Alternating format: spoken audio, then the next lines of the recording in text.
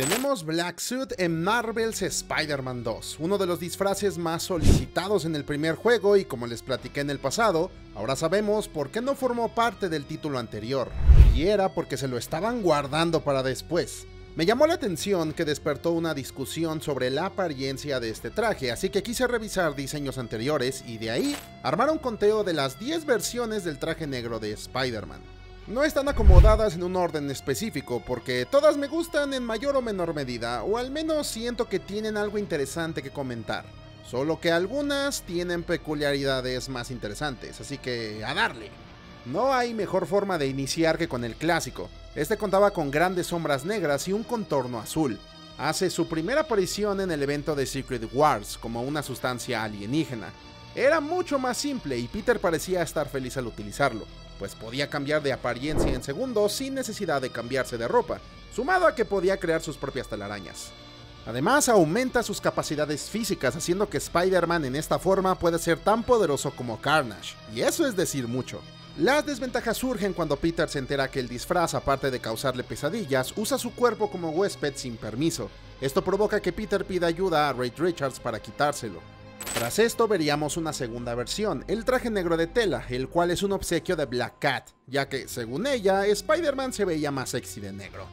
Este es el que Peter utilizaría durante eventos realmente importantes como Craven Last Hunt o Back in Black. Es más, en su primer encuentro con Venom estaba utilizando este disfraz, pero decide quitárselo para no dar un mensaje equivocado, además de que más tarde Mary Jane parece que preferiría los colores clásicos. Sumado a que al ver a Eddie utilizando justo esa apariencia, no le parecía correcto que lo relacionaran de alguna forma. Otro cuento es el de la versión del universo Ultimate. A diferencia del original, este no proviene del espacio, sino de un laboratorio. Los padres de Peter Parker y Eddie Brock trabajaron juntos para crear una cura para el cáncer. Desgraciadamente hicieron un trato con Industrias Trask y fueron expulsados de su propio proyecto. Al escuchar esta injusticia, Peter decide recuperar el experimento de sus padres y se transforma en una versión mejorada. Desgraciadamente, un encuentro con un maleante le trae un recuerdo traumático, el asesino del tío Ben, por lo que su furia desencadena al monstruo. Esto confirma que, si bien su fuerza y habilidades aumentaron, la sustancia amplifica los sentimientos negativos de su huésped. Su característica principal, además de unos enormes ojos, es que el contorno es color morado, y las redes pueden salir disparadas de los dedos. Lamentablemente, a diferencia del original, no lo vemos demasiados números, pero debo decir que dejó marca y se ve muy chulo. Otro caso sería el de Spectacular Spider-Man. Aún me debato si este es mi favorito. Puede que el diseño de los personajes no sea el preferido de la mayoría, pero esta serie se la voló con el concepto del traje negro. Comienza con una apariencia familiar al clásico rojo y azul, pero conforme pasan los capítulos las telarañas desaparecen, y la araña del pecho se va haciendo más grande, denotando que su huésped pierde el control de su cuerpo. Además de características conocidas, pero que se popularizaron mucho en los cómics Ultimate y la serie de los 90, como pudo ser el cambio de comportamiento. Además, fue la primera serie en darle personalidad al traje, haciéndolo más peligroso de lo que parece a simple vista. Sin olvidar que también toma elementos de los cómics clásicos, como el hecho de tomar el cuerpo de Peter mientras duerme. Además, a diferencia de la serie de los 90, este lo lleva un poco más allá, ya que incluso considera convertirse en un criminal para conseguir dinero. Lo que más me agrada es que todo este arco dura 3 episodios, dándole espacio para poder desarrollar bien la historia. Bueno, 4 si quieren contar el de Venom. Mientras la serie se encontraba en emisión, encontraríamos a Spider-Man Web of Shadows, esta versión parece inspirada en el universo Ultimate, aunque la historia toma directamente elementos de la Tierra 616. Aquí Venom comienza una invasión de simbiontes y el sujeto cero, por decirlo de alguna forma, es Peter Parker.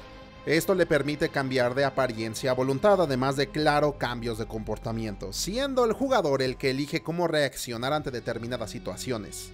Hay dos finales malos donde Spidey es consumido por el odio, por lo que este se convirtió en una de las versiones del Black Suit más famosas.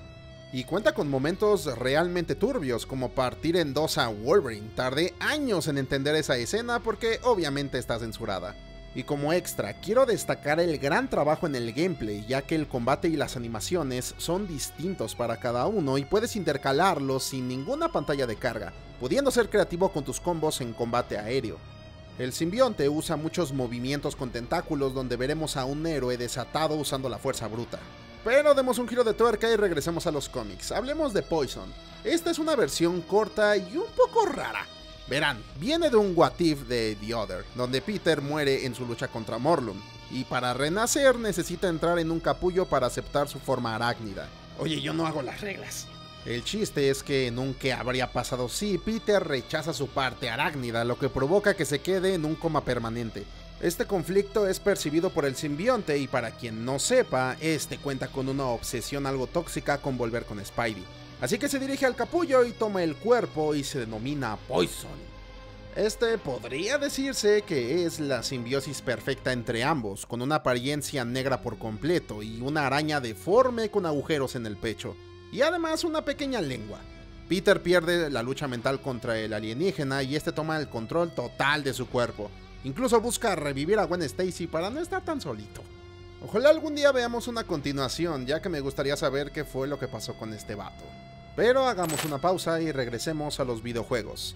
El más reciente y que generó muchos comentarios es el de Marvel's Spider-Man 2, este, como se habrán dado cuenta, parece tener un diseño minimalista, respetando al clásico, pero con ligeras diferencias. Comencemos con el cambio de personalidad de Peter, volviéndolo menos empático y perdiendo el control ante sus emociones. Aún no conocemos el origen de este ser, pero al igual que en el videojuego de Web of Shadows o Shattered Dimension, este aprovecharía sus habilidades para cambiar de forma en combate. Además parece ser completamente negro, solo reflejando la luz y por lo visto este crea una especie de armadura sobre su huésped. Varios me comentaron que solo se remarca encima del traje avanzado, pero no le veo mucho sentido considerando que los guantes no toman la forma del blindaje original, así que prefiero pensar que el simbionte es quien le da forma. Mi detalle favorito sin duda es ese degradado color azul de los ojos y la araña, simplemente está bello. Aunque también les mentiría si les dijera que hubiera preferido que todo el disfraz tuviera una sola textura. Supongo que querían que, así como el clásico, este se diferenciara de otras versiones vistas en otras adaptaciones. Y hablando de querer ser único, creo que tampoco es tratar de pasarse de la raya. Las interpretaciones vistas en la serie de Marvel's Spider-Man carecen de carisma. El primero tiene una araña muy rara y cuenta con brazaletes blancos no muy atractivos. Como la serie tiene, sí, una animación sin sombras, esta apariencia parece un dibujo hecho por un niño. En el capítulo de Guardianes de la Galaxia, donde hacen un crossover con el arácnido, y parece había más presupuesto, mejoran bastante el detalle, pero solo ahí. Además de basarse en el estilo clásico, lo cual hace que se vea bastante chulo si me lo preguntan. Más tarde contaríamos con una segunda versión, que aparentemente se uniría a Peter de forma voluntaria durante el arco Maximum Venom. No estaba mal, al menos en los promocionales, era algo muy atractivo y único. La cosa es cuando ya lo vemos en pantalla, porque otra vez el apartado visual no permite destacar mucho las formas. ¿Qué opinan ustedes? Más que traje negro parece blanco, no lo sé.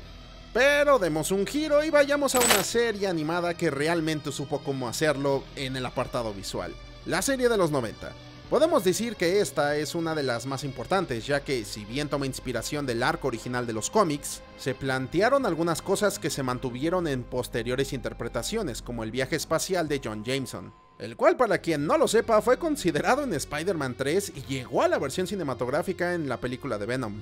Si bien fue el cómic Ultimate la primera en plantear el potencial peligro de ver a un héroe sin control dispuesto a matar como un monstruo, es la serie la que plantea el cambio de comportamiento y cómo este poco a poco controla a Spider-Man. Algo que terminarían replicando en futuras interpretaciones y que de hecho es conocida hoy como una característica original del traje de los cómics, aunque esto nunca fue así. Pero es que tiene tanto sentido y va acorde con el personaje que supongo tenían que replicarlo, no había de otra. Tiene las ventajas clásicas, pero en momentos de tensión, la furia e impaciencia hace que los sentimientos negativos del protagonista comiencen a surgir. Es simplemente la forma perfecta de llevar al simbionte, al menos de lo que entendemos es hoy en día. El único detalle que jamás me pudo convencer es que en la zona de la araña delantera se cierra un rectángulo que me causa mucho conflicto ya que siento deforma la figura. Pero fuera de eso es hermoso. Y por último, no había forma de terminar sin hablar de la versión de Spider-Man 3. Si bien la serie de los 90 nos plantea elementos que fueron rescatados más adelante, fue la película que marcó todos estos como parte de la cultura popular. Su traje se ha vuelto uno de los más icónicos, curioso porque de todos los de la lista es el que se aleja más del diseño original, pero por algún motivo es referente a la hora de hacer muchos fanarts de cómo debería verse Andrew, Tom o hasta el de PlayStation 4. A ver, no es la gran ciencia, es el traje clásico con colores oscuros. Si nos ponemos sabrosos, la araña tiene las patas dobladas y los ojos son ligeramente más grandes. Curiosamente lo vemos muy poco en la película, solo durante el enfrentamiento con el hombre de arena y algunas secuencias salteadas por ahí. Pero nos atascaron tanto en promocionales durante 2007 que supongo era difícil no agarrarle cariño. Ahora tenemos la personalidad que es prácticamente un meme con patas. Raimi llevó lo del cambio del comportamiento al extremo y no solo en furia, despreocupación, descaro, tiene de todo, hasta poca vergüenza. Para bien o para mal, la película terminó popularizando tanto el concepto que hasta la fecha, y como se habrán dado cuenta, sigue siendo sobreexplotado al máximo y aún más nos hemos emocionado con lo mismo. Bueno, después de toda la lista anterior, me gustaría saber cuál es tu versión favorita del traje negro o simbionte. Yo ando entre el de Spectacular y Web of Shadows. Me gusta que vayan más allá de un cambio de apariencia. Y sí, otras plantean cosas como que Peter se hace más agresivo, pero las que les menciono tienen o un cambio alrededor de los episodios o en el caso del videojuego hacerte malo. El uso del Black Suit tiene consecuencias, así que me gustaría saber qué opinas. No olvides dejar tu like para saber que te gustó todo este desmadre y suscribirte también para saber cuándo llegan nuevos videos. Peticiones fuera, los dejo, nos vemos.